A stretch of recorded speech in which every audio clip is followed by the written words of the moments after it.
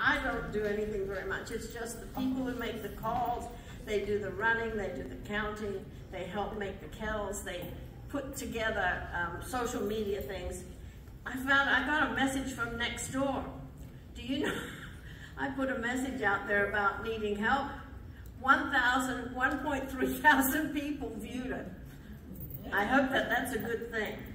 So I wanted to introduce you to a family that have been good supporters of the Salvation Army, and this is the Waychoff family, and I got permission to talk about them.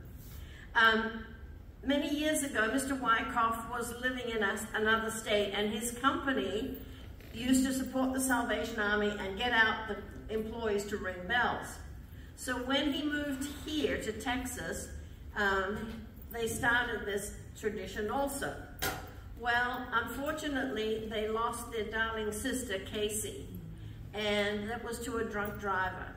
So for the last 10 years, this family, when they come into town, they go out and they they've been taking four stores, have to have their own kettle, and they have fierce competition.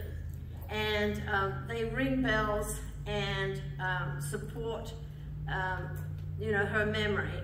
And the bracelet that I wear says her name and it says, life's a gift, pay it forward. And I think that's what we've all been doing with what we do with the bell ringing and the angel tree and all the rest of it.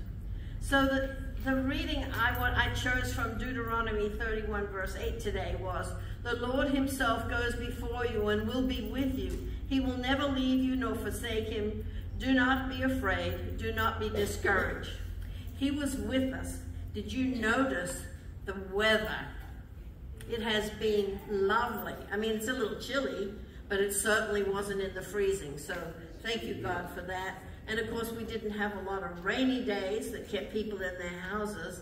The last few days it rained, but you know, people are forced to get out because they haven't shopped. so we're very, we're very thankful for that. So ushers, would you come forward, please?